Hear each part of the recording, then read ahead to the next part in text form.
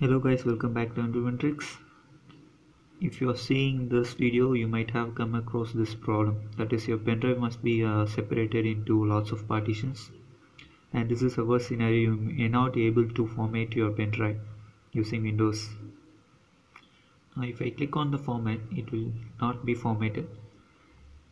Even I have tried using command prompt but uh, I can't able to format the pendrive so the better way is to first of all go to device manager.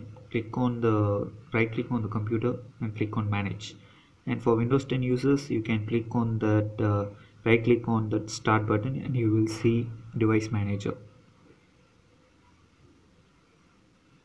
In device manager go to disk management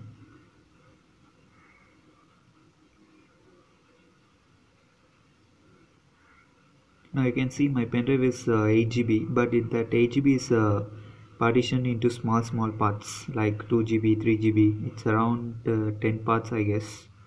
And this scenario you may not able to you you you not able to format that pen drive. If you try to format it uh, I actually tried I can format only one partition and I am uh, able to get only 2 GB but the actual size is around 8 GB so to get the whole capacity of the pen drive uh, now you can uh, try by deleting volume and once again creating using simple volume. But that method is uh, failure here.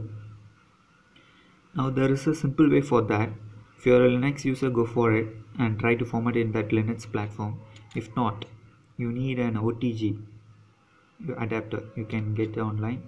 That's very cheap and the corrupted pen drive. Just plug it your uh, smartphone. If it is android it's okay. And it must be uh, otg capable. Now you can see notification that has shown JetFlash corrupted pen drive. Once you click on it you can easily format it. Now you can see my pen drive is formatted. That's it. You don't want to search for uh, softwares to format the pen drive online. This is the simplest way I have found. You can easily format this pen drive using uh, your smartphone itself if you if your smartphone has that uh, OTG capable. That's it guys. Hope you love this video. Hit thumbs up and see you after bye